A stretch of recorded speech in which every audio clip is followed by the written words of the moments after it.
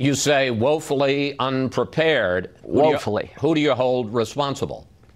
Well, I know Jeff Sessions agrees with me in philosophy, but it's clear to me the Department of Defense and the Department of Justice have not coordinated how to handle a terrorist suspect. When we capture one of the soldiers of the caliphate alive, it is a tremendous opportunity to understand how the enemy operates, what they know, how they got radicalized. We should have long conversations. They were not prepared for this moment. There are no protocols at the Department of Justice and the Department of Defense de- uh, changing Obama policy. They're doing exactly what Obama did, and I'm urging the Department of Justice, Department of Defense to come up with new protocols to hold terrorist suspects, soldiers of the caliphate, people who kill our ambassador, as enemy combatants in the future.